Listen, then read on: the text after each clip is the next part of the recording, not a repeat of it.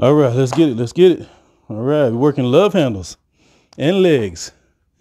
All right, we're gonna be on the ground doing side planks where you got one hand on the ground and you're holding yourself up and you're gonna raise your leg up and down just like that.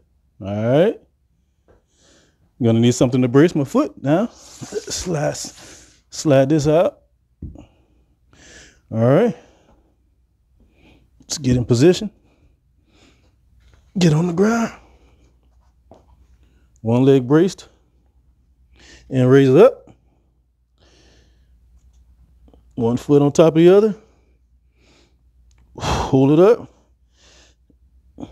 And brace yourself if you need to. And raise your right leg up and down. And up and down. Up and down. Up and down. Up and down.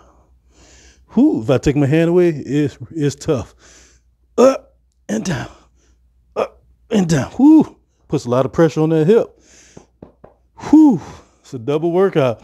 Works both love handles and it works that hip. Whew.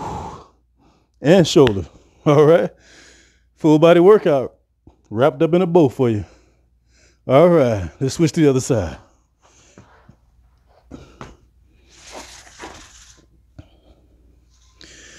All right. Brace that foot. One foot on top of the other. Raise up. Hand on the ground. And up and down. Up and down. Up and down. All right. Let's take the hand off the ground. Up and down. Up and down. Woo! That's rough. Ah. You can do it though. Just have to practice. You're strong. Get those arms tight. You got muscles now. You progress. You're moving up the ladder. Just keep practicing and you'll get it down pat and you'll be a master, just like me. And I'll see you in the workout. Peace.